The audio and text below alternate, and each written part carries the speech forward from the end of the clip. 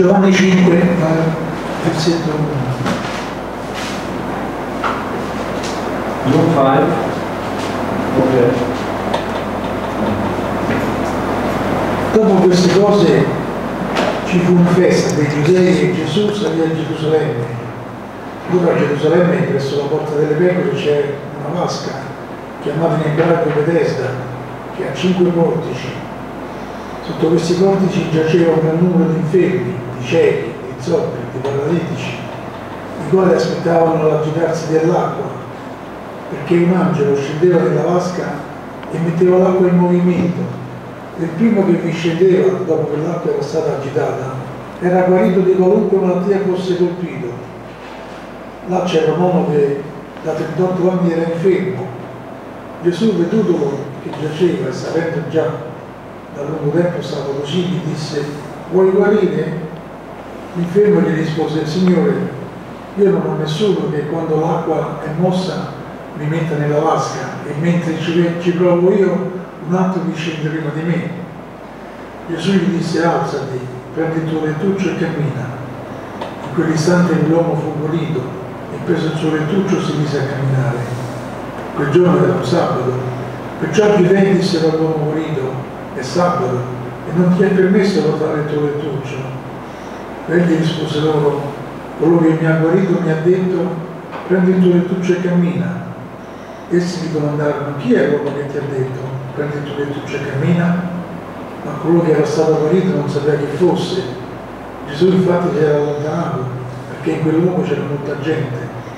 Più tardi Gesù lo trovò nel Tempio e gli disse, ecco tu sei guarito, non peccare più, che non ti accada di peggio. L'uomo se ne andò e disse ai giudei che colui che l'aveva guarito era Gesù. Per questo i giudei perseguitavano Gesù e cercavano di ucciderlo, perché faceva quelle cose di sabato. Amen. Amen. Eh, oggi volevo riflettere su un miracolo che Gesù fa nel Vangelo di Giovanni. Uh, my topic will be around this miracle in the Gospel of John, chapter 5.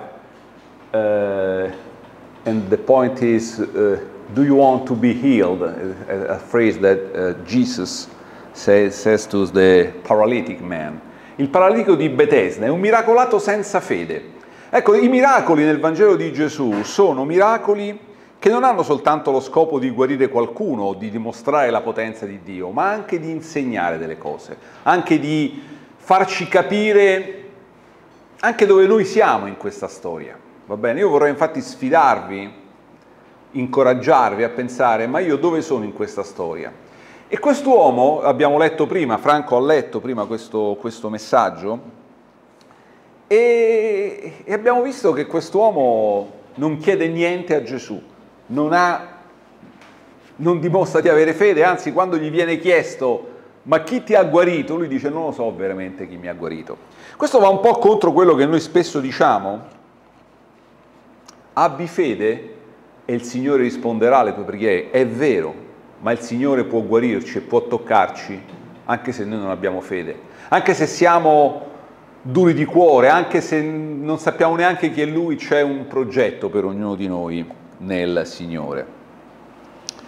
Il, il testo l'abbiamo letto e per cui non, eh, non mi fermo tanto a rileggerlo, ma c'è quest'uomo che sta lì da 38 anni che sta bloccato e il Signore gli chiede, dice ma vuoi essere guarito? E lui dice ma io non ho nessuno che mi, che mi guarisca, come posso? Nessuno che mi porti vicino all'acqua perché l'acqua si muoveva e secondo una tradizione la gente eh, poteva essere guarita. Bethesda vuol dire casa di misericordia, questa è la Bethesda, eh, questa è nel Maryland, National Institute of Health Clinical Center, uno dei più grandi centri del mondo per la salute della gente. Hanno preso questo nome negli Stati Uniti per creare uno dei più grandi centri per la salute. Vedete come tante volte una, una piccola storia eh, crea un, qualcosa che durerà negli anni. Ognuno che passerà di qua, credo, i milioni di persone che passano di qua, e Bethesda è una, è una cittadina che sta lì a, negli Stati Uniti, hanno deciso proprio lì di creare questo centro eh, l'Istituto Nazionale per la, per la Salute, dove milioni di persone ogni anno si rivolgono. E quindi sapete che Bethesda vuol dire appunto la casa della misericordia. E questa è, secondo la, diciamo, gli scavi, la, proprio la piscina che c'era lì a Gerusalemme, quello che, che, che rimane, eh, quello che rimane della, eh, di questo momento. Quindi è una storia anche con dei riferimenti precisi. Era lì, infatti eh, dirà dove ci sono le cinque colonne, c'è questa tradizione, quindi una storia ben, ben documentata. E questa storia, eh, c'è questa domanda che io in queste ultime settimane, quando ho letto questa storia, mi, mi, mi frullava nella testa, vuoi guarire? Ma infatti dico, ma scusa, ma che, che domanda mi fai, Signore?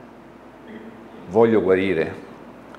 Io sono malato e mi chiedi se voglio guarire, ma tu sei pazzo Gesù. Vedete come Gesù in qualche modo rovescia i tavolini delle nostre certezze e dirà a questa persona che era lì da 38, non sappiamo se era lì da 38 anni, ma lui dirà, e poi torneremo su questo 38, perché niente nella parola di Dio è per caso.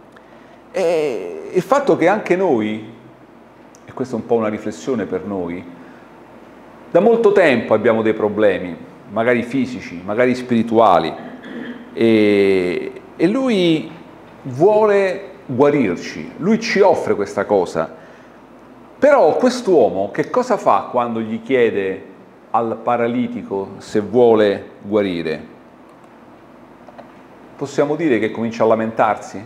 Non gli risponde, sì signore che voglio guarire, ma certo sono qui da 38 anni, no, lui gli dice, possiamo Forse ha usato anche questo tono, eh signore, io non ho nessuno che quando l'acqua è mossa mi metta nella vasca e mentre magari ci vengo un altro riscende prima di me.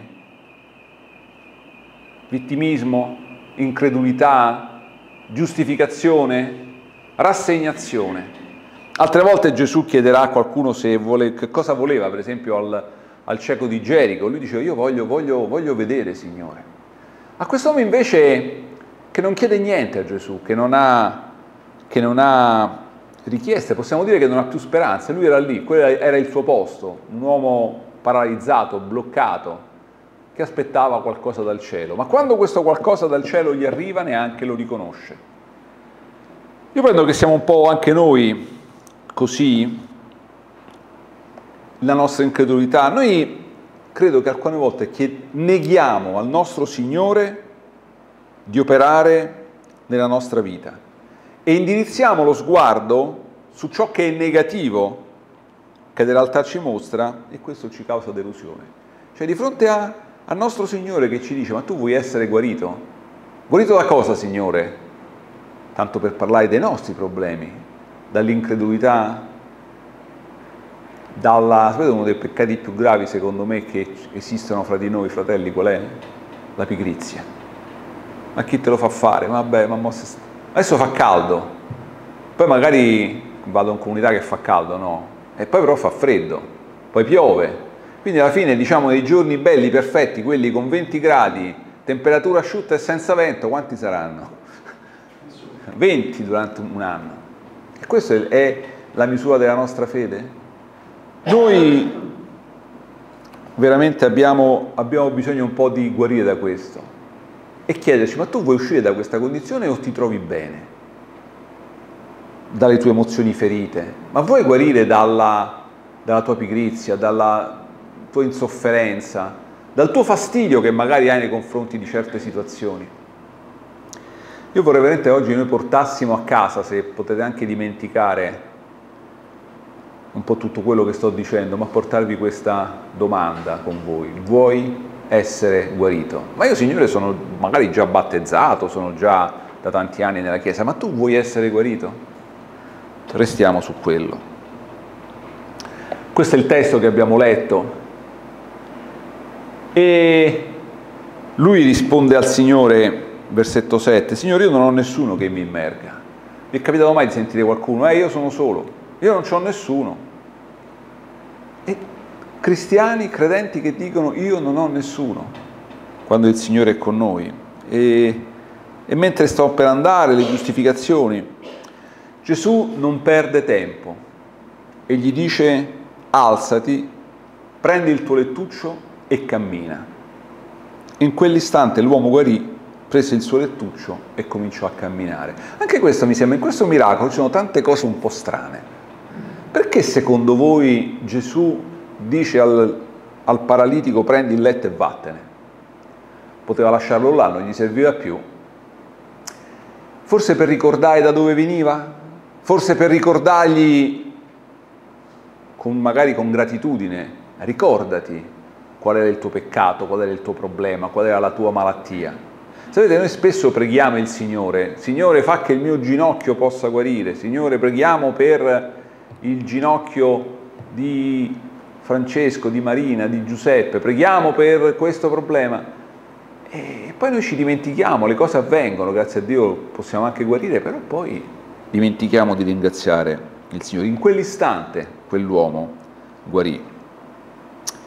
E come ho detto prima, questo è un miracolo senza fede, perché andando avanti,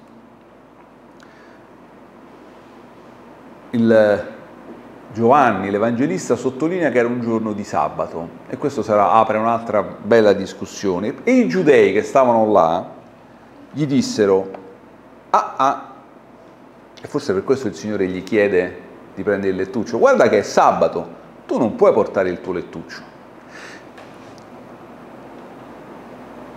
Non so se ci possiamo immergere un attimo in questa situazione. È avvenuta una cosa straordinaria.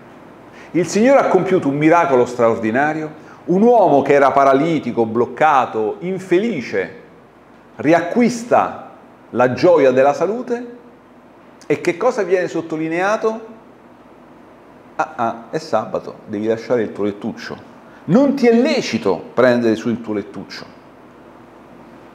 C'è un tipo di religione, fratelli, che secondo me è tossica, è quella che è fatta soltanto di ciò che noi non possiamo fare. Questo no, quell'altro no, quell'altro così, quell'altro. Ho tante storie che potrei raccontare anche, anche ultimamente, ma non voglio in questo contesto mettere energie negative. Però quante volte abbiamo fatto qualcosa di buono o abbiamo magari fatto un bel programma e qualcuno che trova subito le cose negative. Io ne citerò soltanto una, siamo, andammo in una missione medica in Africa e, e tornando era stata, un, abbiamo le foto lì, insomma, impegnativa, per chi c'è stato sa che cosa sto dicendo.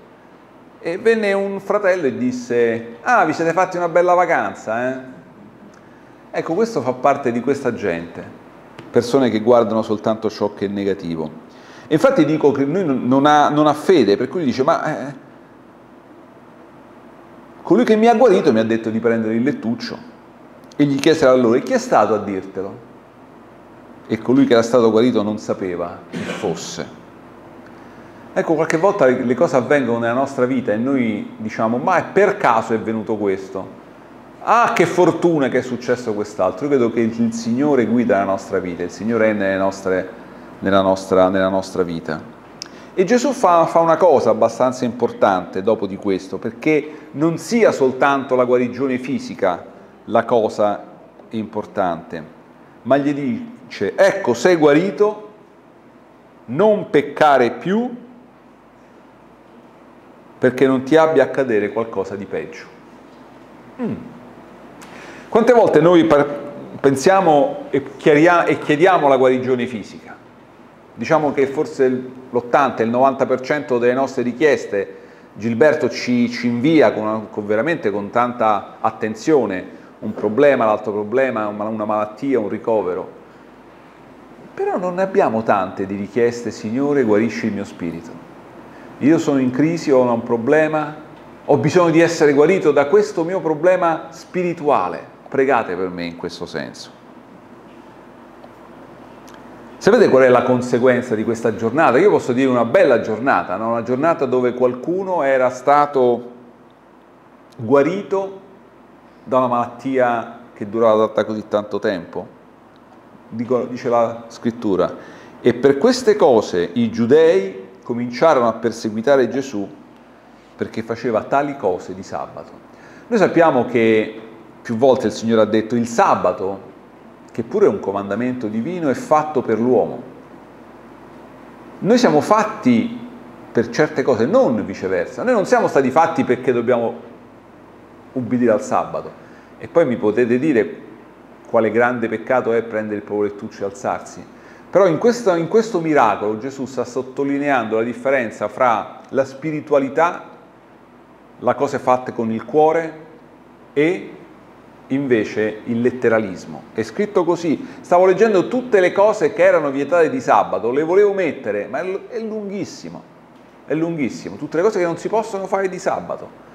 Puoi fare, altre volte il Signore dirà su questo, su questo discorso, no? Ma se vi cade un, qualcuno nella buca che fate? Lo lasciate lì. Ecco, questo è importante. C'è un'altra cosa che mi colpisce in questa storia, perché niente accade per caso nella parola di Dio. Perché se io vi dirò da quanto tempo era ammalato il cieco di Gerico, voi dite, ma era cieco. Da quanto tempo i dieci lebrosi erano lebrosi? Non lo sappiamo. Perché il Signore qui, o l'Evangelista scrive che era malato con una data precisa, da 38 anni. Mm. Sapete, c'è tutto un discorso sulla numerologia nella Bibbia. Perché 38 anni? Che cos'è questo numero? Vuol dire da tanto tempo? Tra l'altro a quel tempo la vita media era 38-40 anni e quindi era, probabilmente era, cominciava a diventare longevo, forse era paralitico da quando era nato, chissà. Vedete, nella Bibbia il numero 38 ricorre due volte soltanto. Una nel caso del miracolo appunto di questo che abbiamo visto e un'altra volta nel racconto di Mosè in Deuteronomio.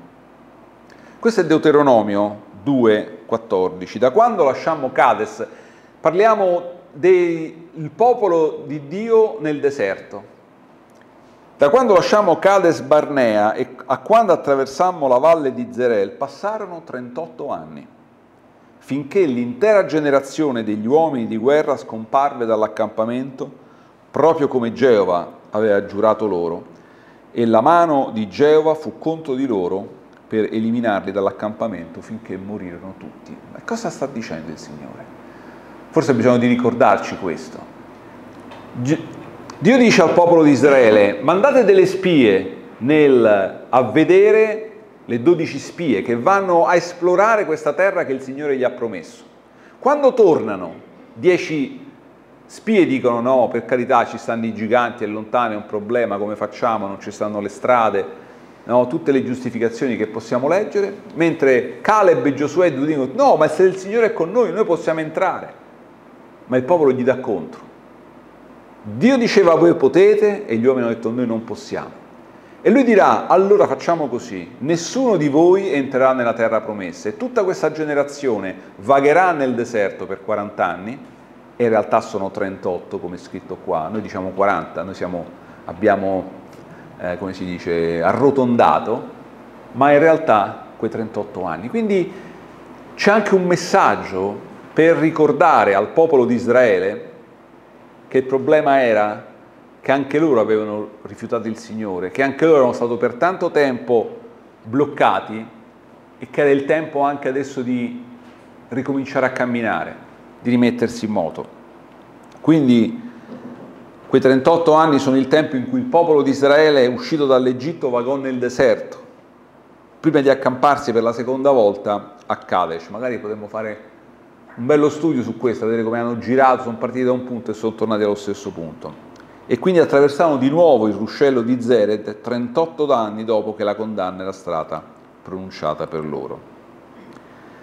E quindi senza questo dettaglio, questa, questa ricerca, probabilmente questo per noi era indifferente, 38 anni, 35, 21, non ne importa.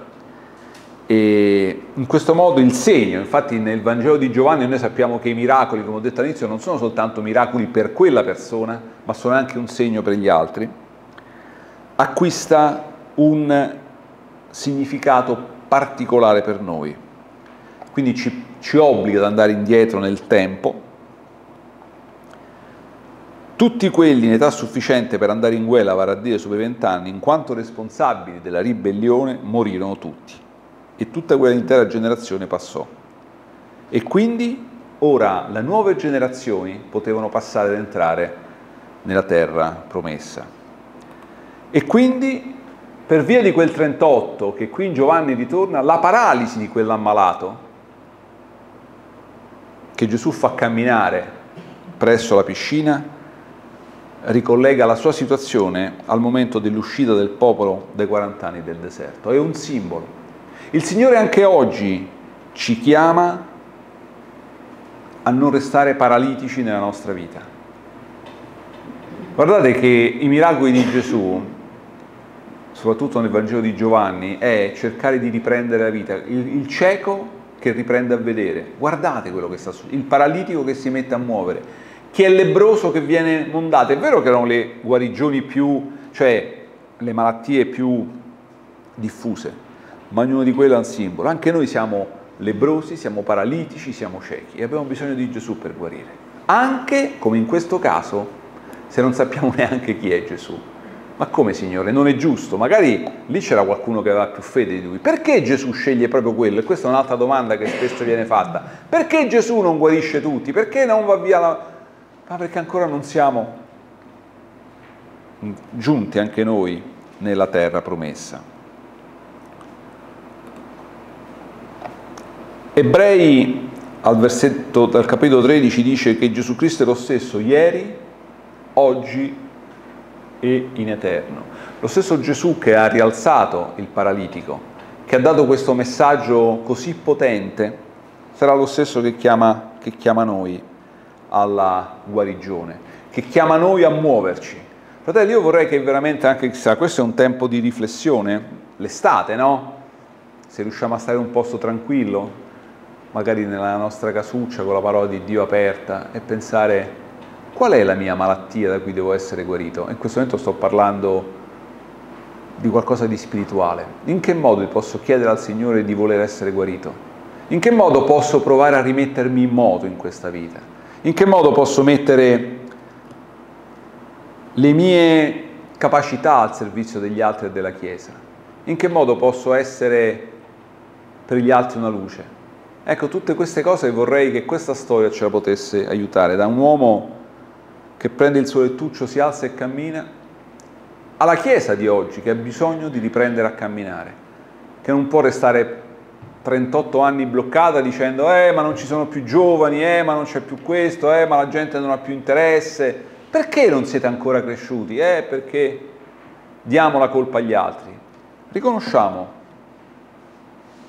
forse non dico colpe, ma un po' le nostre mancanze e chiediamo al Signore di guarirci, di farci tornare a camminare belli solidi,